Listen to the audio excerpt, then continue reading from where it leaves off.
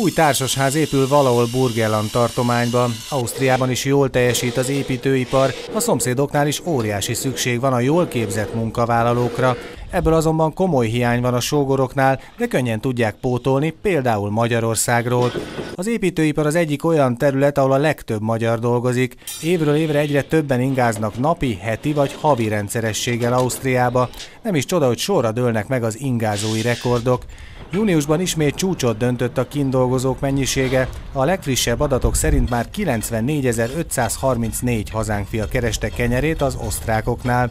A nyár amúgy is csúcs a foglalkoztatásban, ilyenkor az idén jellegű munkák során még több vendégmunkás dolgozik Ausztriában. Nem csak a szám, de a növekedés mértéke is figyelemre méltó. Májushoz képest 4200-zal, tavaly júniushoz viszonyítva pedig 6700-zal bővült az ingázók mennyisége. Igaz, hogy közelítenek a hazai bérek a kintiekhez, de aki beszéli a nyelvet és évekkel ezelőtt elment Ausztriába dolgozni, nehezebben dönt a hazatérés mellett.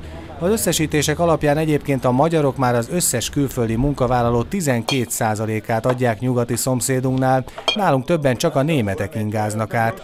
A legtöbben a felmérések szerint a nyugati megyékből járnak át, de a főváros környékéről is sokan ingáznak Ausztriába. Az átlag magyar napi ingázó 90 percet utazik kinti munkahelyére, de mindezt akár 3-4-szeres fizetésért. Az építőipar mellett a turizmus, vendéglátás és a szállítmányozás területén dolgozik a legtöbb magyar, legyen a munkájuk a határ közelében, vagy éppen több mint 600 kilométerre valahol Tirol, esetleg Foralberg tartományban.